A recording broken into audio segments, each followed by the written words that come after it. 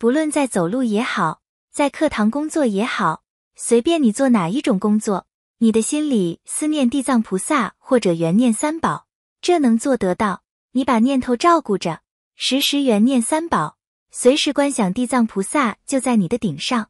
观想的方式，最初是地藏菩萨面对着你，这是救度你的。观想之后，地藏菩萨面向外，向外的意思是地藏菩萨和你合为一体，那也是地藏菩萨度一切众生，你也随地藏菩萨度一切众生。所以把那个像转过来向外，但是必须先向内观想地藏像。最初开始学地藏菩萨，念念心里这样想，时时心里这样念，久而久之，功力成熟了，已经离苦得乐了。你会得到无穷无尽的加持力，好多的恶因缘就可以避免了。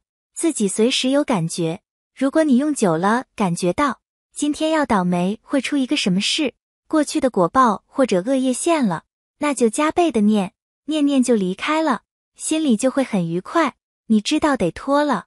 自己会有感觉，或者晚上睡觉经常做噩梦，你临睡觉时就观想地藏菩萨，噩梦就没有了，梦就吉祥了。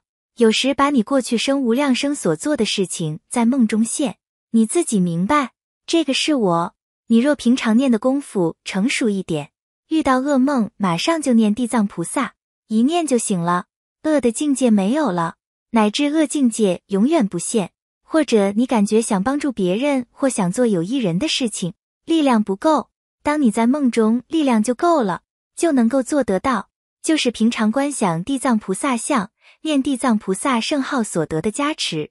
有的过去跟地藏菩萨因缘深厚的，已经种过这种善根，一念一观想就相应。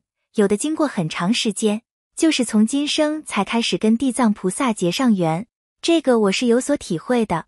最近十二年当中，情况就是这样。有的劝他念地藏菩萨或者念地藏经，他家里灾难频繁，好像看着恶事、恶因缘要降临到头上了，念念的逐渐一个一个都转化了。